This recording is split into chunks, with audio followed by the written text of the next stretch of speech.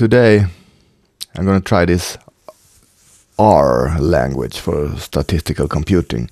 It sounds like almost like a language for pirate computing. R. Uh, I've been watching uh, on uh, Khan Academy uh, math vi vi videos, and here in the math section there is a statistics section, and for instance, if you watch this uh, sampling distribution example problem, here's an interesting example. An average male drinks two liters. Uh, you should probably watch some of the previous videos first on this Khan Academy to understand this. Uh, this is the population, and this is a sample, and this is the distribution of the population. This is the distribution of the samples. If you take multiple samples from the population, you get a, you get a sample distribution. And he solves this problem here. The average male drinks 2 liters of water, so the population mean is 2 liters, and the standard deviation is 0.7 liters. Uh, and uh, planning a full day nature trip for 50 men, that means the sample is 50 and will bring 110 liters of water. So the the sample size is 50 and the sample is 110 divided by 50 which is uh, 2.2 here he has it 2.2 so you can watch this video to see how he solves it and you, and uh, you should probably do that first. But now I'm going to, to solve this the same problem uh, in using R. Here. Uh, start R like that. There, there are also GUIs but I'm only using the command line now. So what was the population mean? It was 2 liters. And the population standard deviation was 0.7 liters. So I just assign variables here. I can watch them. So, and uh, if I want to draw a, norm a normal distribution, I can first if I say this variable L uh, is just a sequence of what does he has from zero up and here's two in the middle and then maybe four here. To from zero to four and go by well take small steps. 0 0.01 liters steps. So then L here is just from zero all the way up to four. And on the this is this axis L, and on this axis is probability. I just call it P. P goes to uh, what the normal distribution. This is actually maybe not the normal distribution, but I'm gonna uh, approximate as a normal distribution from L. And what the mean was pop mean, we have it in the variable, and the standard deviation was pop SD, like that.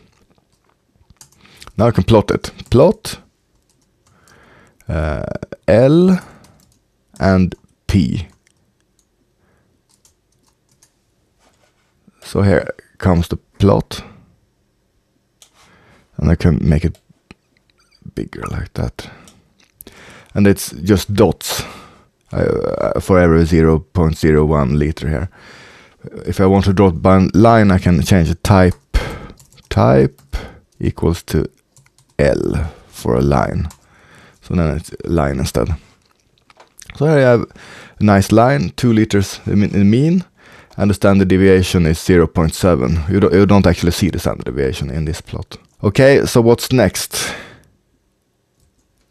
Uh, if we go to the video here, this this was the population distribution, and the sample distribution has a smaller standard deviation, and the standard deviation here is actually uh, here, the population standard deviation divided by the square root of the number of samples. So we can calculate that.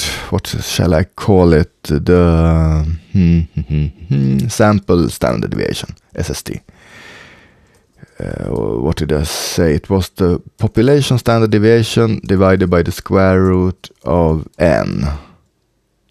Did, no, I have to assign n first. n was 50. I could just write 15 and SSD 0.09899 and that's actually the same here you got here he rounded to 0.099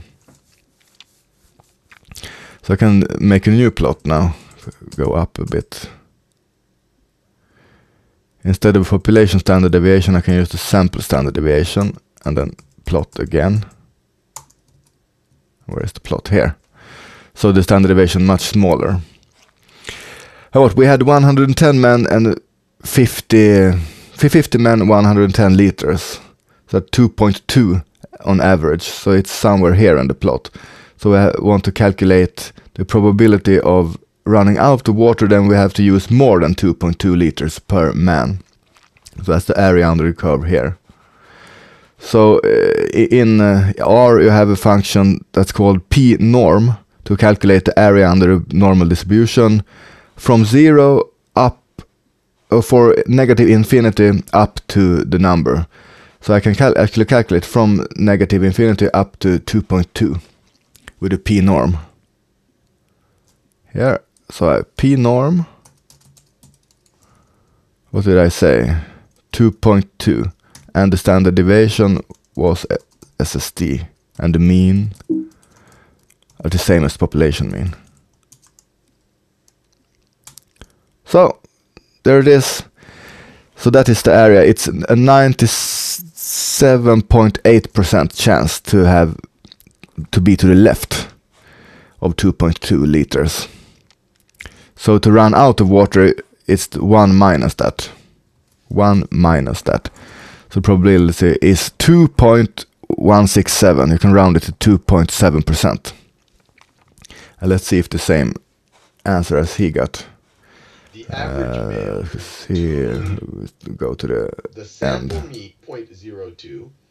It was, so you go for the first digit, we go to 2 point, are less than, we are less than. Yeah, he got ni- 0.9783. That value over here.